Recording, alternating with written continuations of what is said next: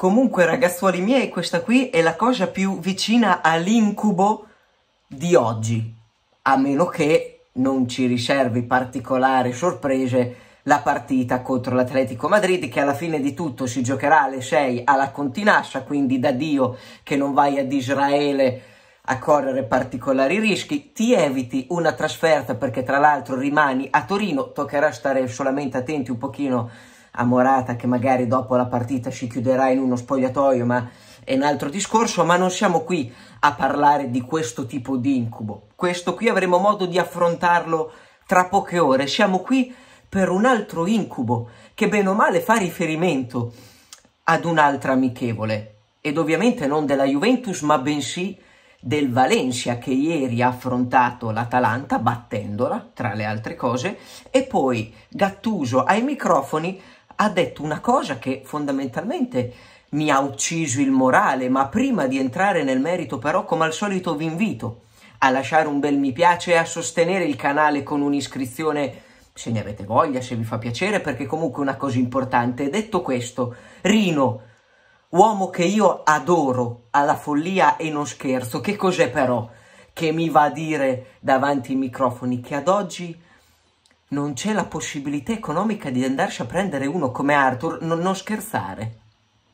Queste cose non si devono dire neanche per sbaglio, soprattutto di fronte ad una tifoseria che è stata illusa negli ultimi giorni con una partenza che sembrava ormai pressoché fatta di un giocatore, non dico ormai esubero, di più, peggio, e adesso non è che te ne puoi uscire dicendo che non ci sono i soldi. Innanzitutto, vabbè, perché comunque fino a prova contraria si parla di prestito secco, quindi già l'esborso economico non va fatto. Se Rino mi dice davanti ai microfoni, beh, 43 milioni per non far far minusvalenza alla Juventus, non ce li abbiamo da spendere per Arthur, dico cazzo, hai ragione, anche avendoli non li vai a spendere per Arthur, lì io non posso obiettare assolutamente nulla, sarebbe una roba fattuale, ma nel momento in cui si parla di prestito secco, no.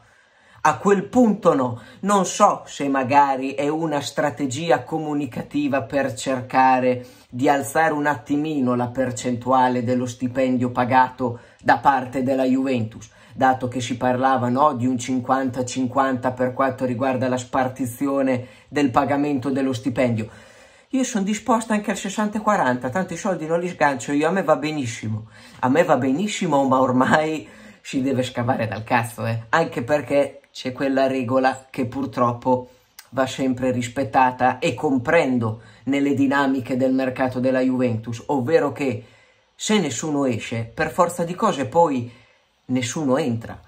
E lo posso capire, lo posso capire, fondamentalmente lì a centrocampo cos'è? È partito Ranocchi in prestito al Monza, è partito Ramsey, tra l'altro gli hai dato una buonuscita di cos'è 3, 3 milioni e mezzo quelli che sono,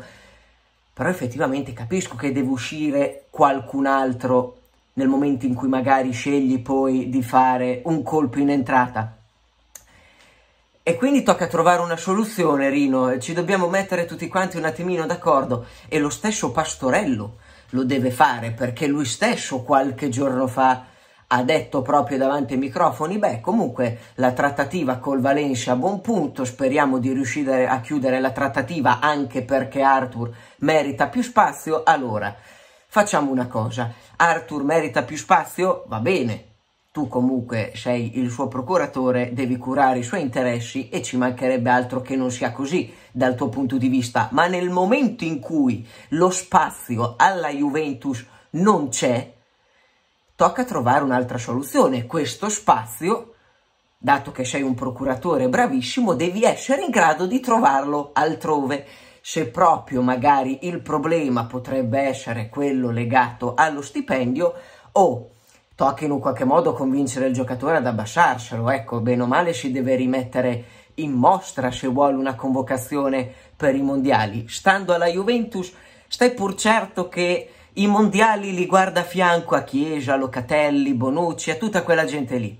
Se rimane alla Juventus, proprio fanno i festini, tanto il giocatore è solito alla pratica, quindi non sarebbe nulla di particolarmente nuovo. Se invece si vuole effettivamente puntare ad andare al mondiale, l'unica soluzione anche solo vagamente plausibile è quella di levarsi dei coglioni, poi dopo è il solito fate vobish, anche perché veramente ormai non mi illudo più di nulla, fino a una settimana fa tra le altre cose sembrava ci fossero 4-5 squadre per Rugani, e il Bologna, e l'Empoli, e il Verona, e la Sampdoria, e il Galatasaray, alcune disposte a pagarti una parte bassa dello stipendio, altre a pagarti la totalità, dello stipendio, il Galatasaray l'unica, solo che anche lì eh, l'estero mm, non va bene, anche perché Rogani negli stadi turchi presumibilmente si scagazza addosso, è un altro paio di maniche quello lì, poi la Sampdoria, l'Empoli no, beh, ma a Torino si sta bene, quindi insomma è quest'incubo che ritorna. Nell'ultima settimana abbiamo a tratti vissuto un sogno dove due giocatori come Rugani e Artur sembravano lì con le valigie in mano pronti a levarsi dai coglioni dopo aver scroccato di quei milioni di stipendio che la metà della metà probabilmente erano comunque sufficienti,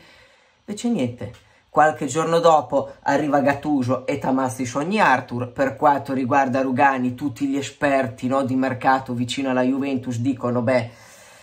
a questo punto probabilmente l'ipotesi più concreta è quella che Rugani rimanga a fare il quarto di rimarrà a fare il quarto, anche perché tanto a sto punto, parlando seriamente, cosa devi dire? Se Milenkovic davvero rinnova e rimane con la Fiorentina, dopo l'altra alternativa è Acerbi, per carità, di Rugani ti prende meno, ma non è uno che ti va a svoltare. Se il quarto deve essere Acerbi o deve essere Rugani, di se Rugani va via e arriva Acerbi, non esulto e non mi dispero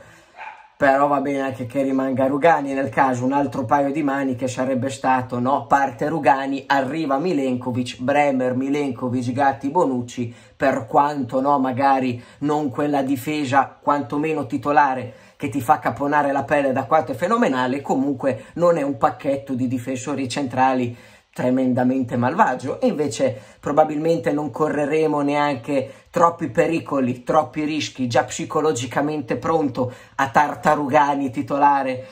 agli ottavi di finale di Champions League e dopo basta perché insomma sappiamo bene o male quello che è stato il percorso negli ultimi anni, quindi neanche a proiettarsi più in là del previsto. E porca puttana però, che botta ai sentimenti che è stato sto weekend, porca Eva. Ieri anche una bella notizia, non si va a Tel Aviv, non si va a rischiare nulla. Cazzo, arriva la sera, Rugani rimane, Arthur forse pure, non ci sono i soldi per, per del Valencia, di troviamo una soluzione. Non si può andare avanti così, non si può. E speriamo a questo punto che tra oggi e domani riescano davvero a chiudere Kostic, che presumibilmente una settimana dopo dovrebbe no, già essere titolare in campo. È così, tocca vivere un pochino tutto quanto alla giornata con la consapevolezza però che c'è una buona probabilità che tutto ti vada contro, ma fa lo stesso, una volta che sei abituato riesci a, st a starci un pochino dentro a queste situazioni e spero di venire, no, non di venire smentito perché io non ho detto nulla, spero che si scavino dei maroni tutte e due, il prima possibile tra le altre cose, che arrivi Kostic, che si verifichi che Morata abbandoni lo spogliatoio della Continascia stasera una volta finita la partita e buon viaggio. Tanti saluti, noi ci vediamo appunto dopo Juventus Atletico Madrid, io vi mando un grosso abbraccio e tanto per cambiare, fino alla fine. Forza Juve!